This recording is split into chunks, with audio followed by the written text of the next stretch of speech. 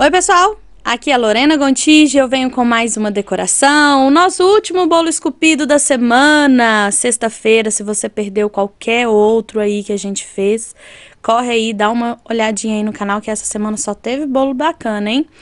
Então, pessoal, hoje é o bolo da caminhonete que eu falei pra vocês, mostrei lá no meu Instagram, Delícias da Lorena Gontijo. Se você não me segue, me segue lá porque esse bolo já tá lá há mais de mês. então, gente, esse bolo aí, ele é um bolo retangular. Eu fiz ele retangular e tirei um pedaço da lateral dele pra fazer a nossa, a nosso capo, a nossa parte cima, que eu esqueci como é que chama, gente. O negócio é onde a gente senta pra dirigir o carro. Então, vamos lá, gente. A cliente queria que eu fizesse um bolo parecido e bem assim. Como se fosse uma brincadeira da caminhonete do marido dela, porque ela queria fazer uma brincadeira com ele. Então, ela queria a cor da caminhonete do marido dela, enfim, mais ou menos parecido o modelo. Óbvio, aí a gente não tá fazendo uma réplica perfeita, tá? Mas eu achei que ficou bem bacana e eu achei válido vir aqui mostrar pra vocês como que eu fiz, tá? Então, depois que eu tirei aí, tô, fez a, nosso, a nossa parte de cima, aproveitando a própria borda do nosso bolo, tá? Eu fui só tirando essas bordas para não deixar esse, esse, bolo tão quadrado. Por quê? A, a, caminhonete dele não era, era uma caminhonete assim mais quadradinha, mas é melhor pra gente trabalhar esses bolos mais moldados e alguma coisa assim, quando a pontinha assim aí na, na beiradinha é, ela é redonda, tá? Para não acontecer da gente ir limpando, né, a, o chantilly e acabar acertando o bolo e mostrando o bolo, tá? Então agora, como eu sempre falo para vocês, gente, todo bolo esculpido, né, a outra coisa que me perguntam muito, eu já vou responder logo. Gente, eu nunca fiz curso, não. Isso aí é tudo de atrevimento mesmo, tá?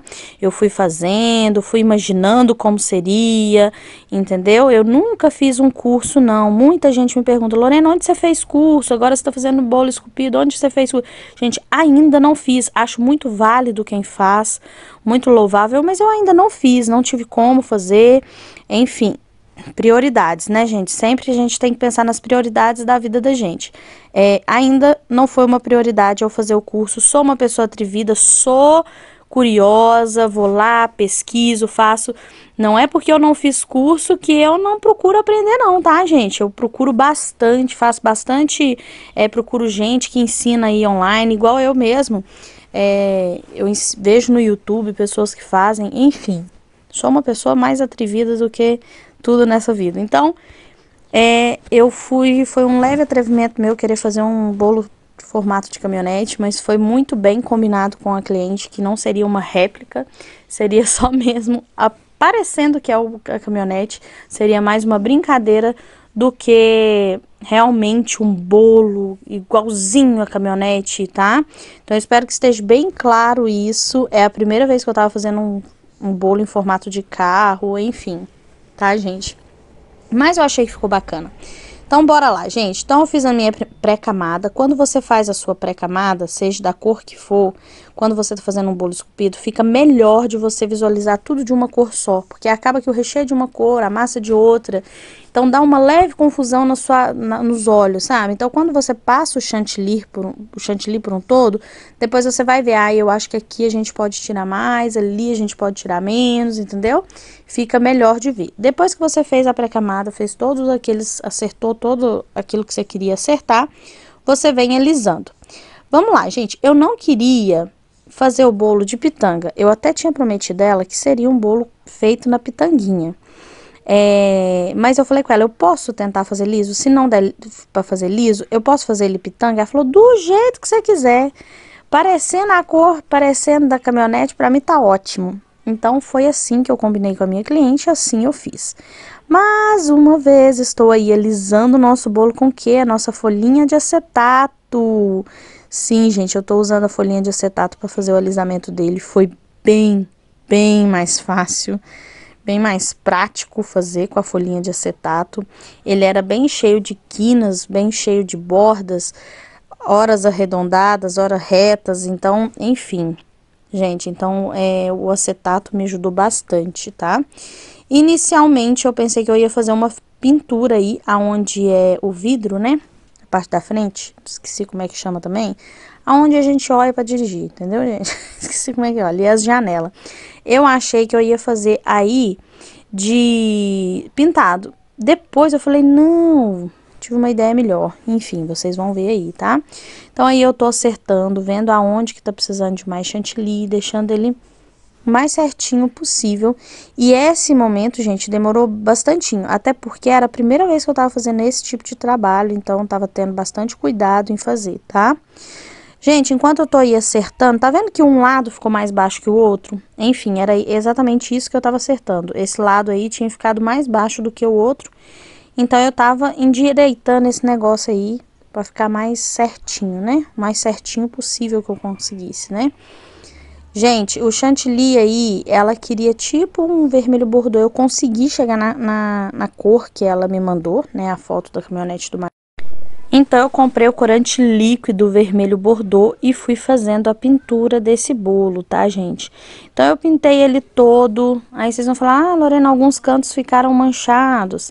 Gente, é a pintura, quando eu faço assim esse tipo de pintura, eu faço ela mais de uma vez, tá? Eu pinto uma vez, vejo, pinto outra vez, tá? E esse, a caminhonete dele tinha uns pontos de umas cor mais forte mesmo, tá? Então eu, eu resolvi fazer alguns lugares dessa caminhonete com alguns pontos mais fortes, tá?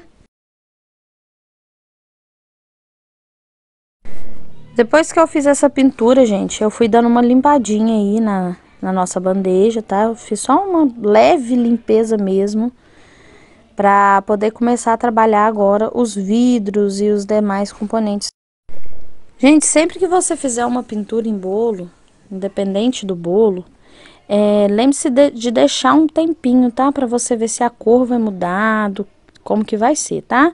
Agora eu tô medindo aí para fazer o para-brisa, lembrei o nome. Obrigado, Senhor. Para-brisa.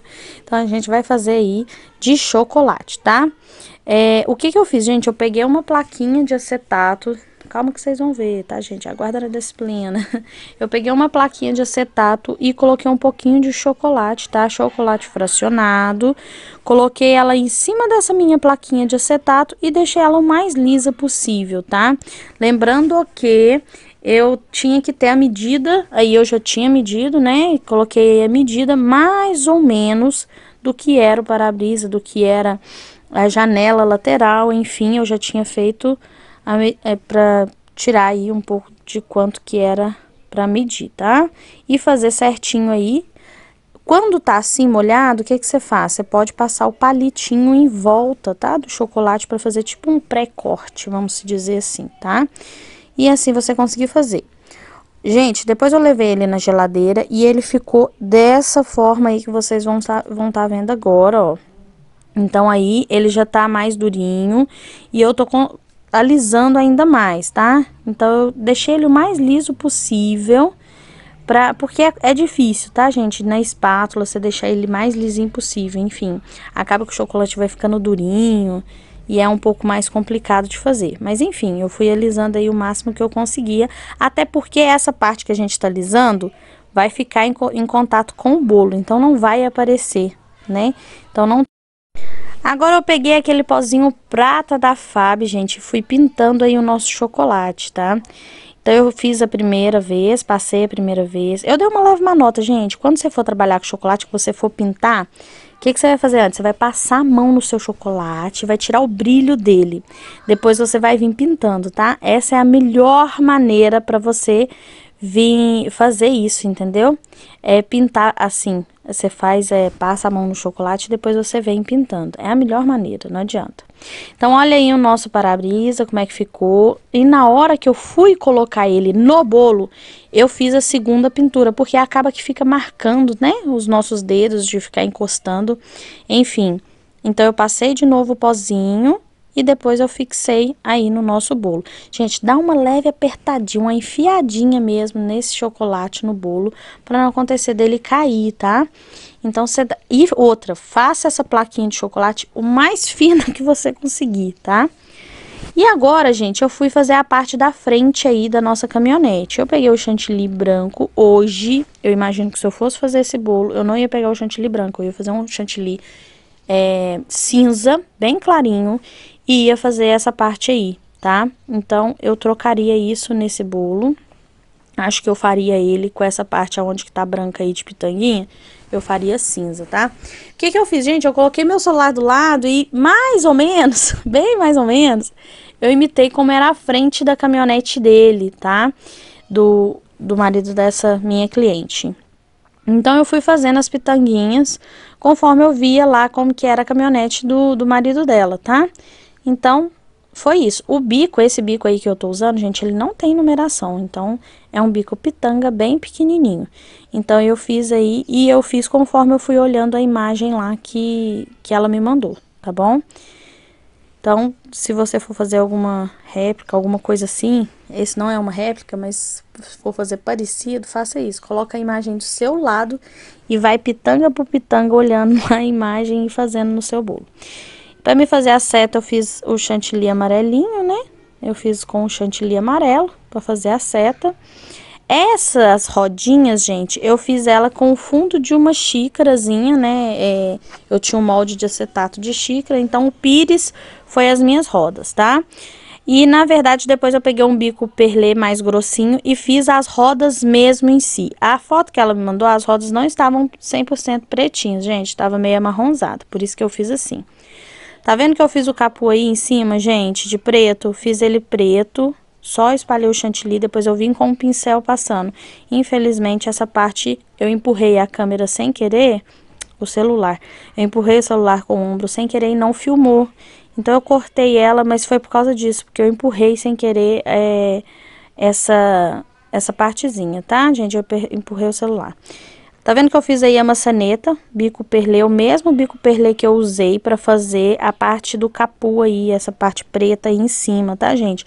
Simplesmente fui passando com o bico perlê e depois eu vim passando o pincel para juntar todas as partes. Agora eu peguei uma partezinha de chocolate e comecei a moldar ela para me fazer aquele aquele negócio assim que fica do lado. Ai, gente, eu sou péssima nesses negócios de carro. Eu não entendo nada do negócio de carro.